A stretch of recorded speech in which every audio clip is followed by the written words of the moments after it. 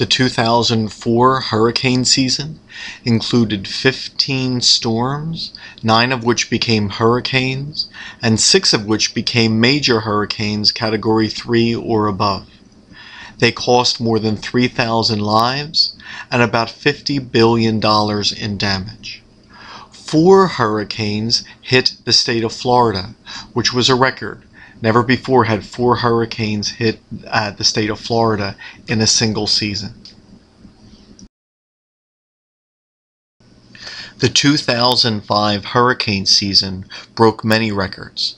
It broke the record for the largest number of storms, 28 in total, so many in fact that the normal way of naming storms using uh, letters of the English alphabet had to be supplemented by six storms named by letters of the Greek alphabet. This had never occurred before. Fifteen of these storms became hurricanes. This was the greatest number of hurricanes recorded in a single season.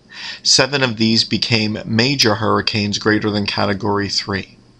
There were almost 4,000 people killed in all of these storms, and the total damage was almost $160 billion. This was the most active season in recorded history, and unusually warm temperatures are thought to have been a major reason why this season was so active. Hurricane Katrina struck the United States in August of 2005.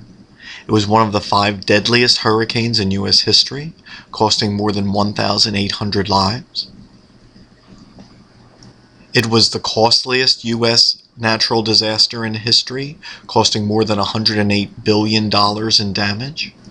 Although its damage stretched from central Florida to Texas, the majority of the cost occurred in New Orleans, uh, Louisiana, where 80% of the city and large tracts of neighboring areas became flooded when the levee system failed.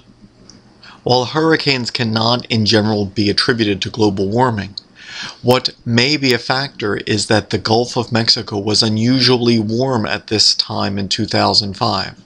Hurricane Katrina made landfall over Florida on the 25th and was no longer a hurricane.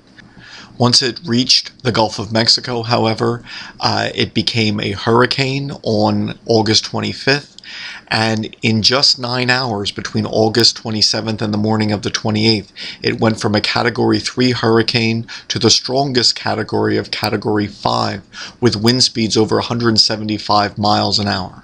So while global warming uh, did not cause Hurricane Katrina, the unusually warm uh, waters of the Gulf probably contributed to its strength, its ability to grow to a Category 5, and thus much of the damage which was later caused by Hurricane Katrina.